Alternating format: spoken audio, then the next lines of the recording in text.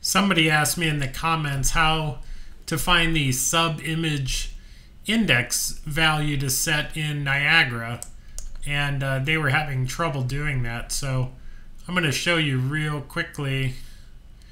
They said they were having problems with uh, 4.25.0 and I'm using 4.25.1 so let's see what it is here. So new emitter from index click that. I'm going to click fountain, click finish. So here's my new emitter.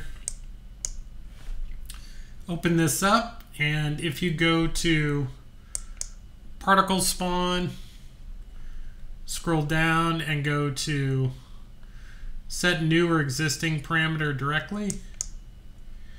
Once you click that, over on the right hand side, you pick which parameter so I'm going to pick set specific parameters. You expand that. And if you scroll down, you will see particles sub-image index. And that's it. Right here is where you can set the sub-image index that you're using or that you want to select, assuming you've set up your uh, sprite renderer with a material that is accepting the sub image uh, size. So you would set here like the 4 by 4 what have you. So if you had 4 by 4 here, that means you have 16 possible options for your sub image index. And then here, you would set this value.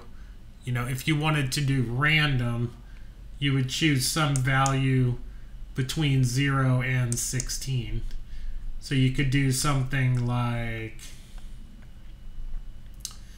uniform range float between 0 you would actually do 15 because it is zero based.